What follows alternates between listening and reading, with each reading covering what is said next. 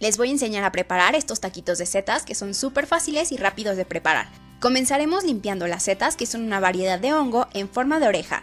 Los hongos no se lavan, así que simplemente pasaremos un trapo húmedo para retirar cualquier suciedad. Después cortaremos la base, que es fibrosa y difícil de masticar. Y el paso siguiente es desmenuzar las setas como si fueran pollo.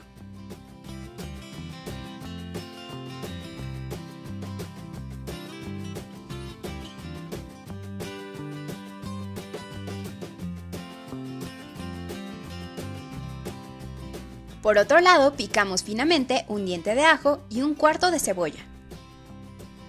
En una sartén colocamos un poquito de aceite de oliva y agregamos la cebolla y el ajo para que se sofrían.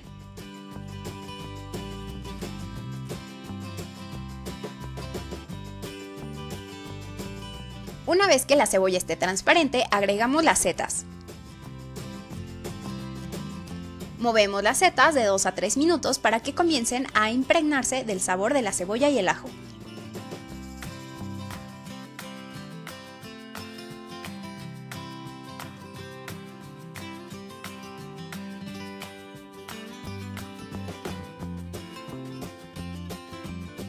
Ahora vamos a sazonar para que nos den ese saborcito parecido al de las carnitas. Agregamos media cucharadita de pimienta, 2 cucharadas de salsa de soya, una cucharada de salsa inglesa que puedes sustituir por jugo Maggi y combinamos todo muy bien.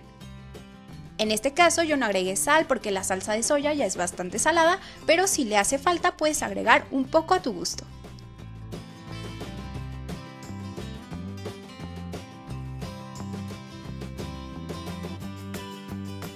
Al final agregamos un toquecito de jugo de limón y para darle todavía más sazón agregué una pizca de ajo en polvo. Dejamos cocinar moviendo de vez en cuando durante unos minutos hasta que las setas se vean doraditas.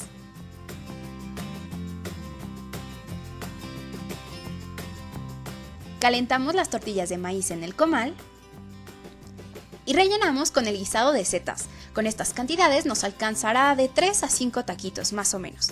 Podemos poner un poquito de cilantro, salsita y jugo de limón. Y nuestros taquitos están listos para comerse. Son deliciosos y como ven muy nutritivos y fáciles de hacer. Así que espero que le des me gusta a esta receta y nos vemos en el próximo video. ¡Adiós!